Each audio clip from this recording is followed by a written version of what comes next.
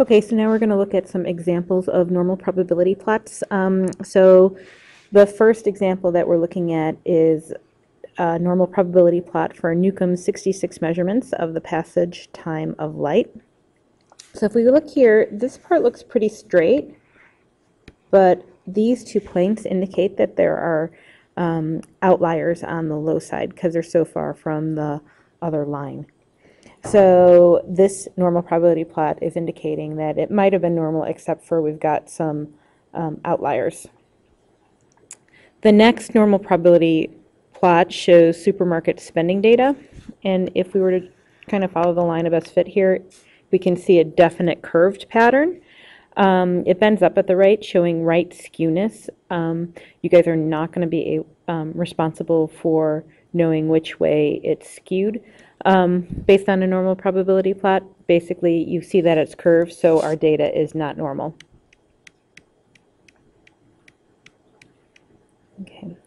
Now, the next one is Newcomb's data without the two liars, outliers, and we can see that it's pretty close to a straight line. So it, um, we would say that this portion of the data was approximately normal.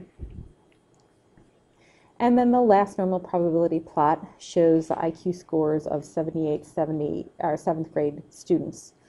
Um, in this one, there's a little bit of a curve to it, but the overall pattern is fairly straight. Um, so we would say that this data is approximately normal too.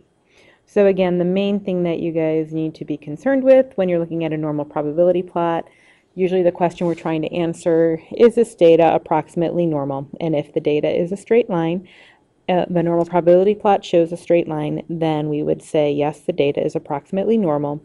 If the data is curved, we would say, or the, sorry, not the data, but if the normal probability plot is curved, then we would say that it is not approximately normal.